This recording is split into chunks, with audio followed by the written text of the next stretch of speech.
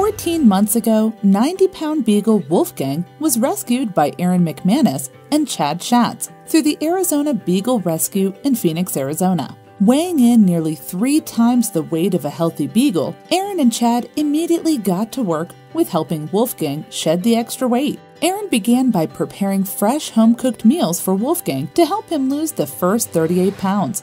Understanding the importance of a nutritionally balanced diet, she turned to just food for dogs to ensure Wolfgang received all the nutrition he needed for the next leg of his weight loss journey. Like humans, dieting alone isn't always enough when it comes to weight loss. Along with sticking to a 600 calorie per day diet, Aaron and Chad placed Wolfgang on a regular exercise regimen, which included activities such as walking and swimming. Wolfgang's results speak for themselves. Since its rescue, he has lost a total of 46 pounds, nearly the weight of two beagles. Another positive result of Wolfgang's weight loss? More typical beagle mischief. When we brought him into the house, we thought he was this like incredibly well-behaved dog, uh, but I think it was just because he couldn't move very much. And now that he's more mobile, he can get into mischief of his own.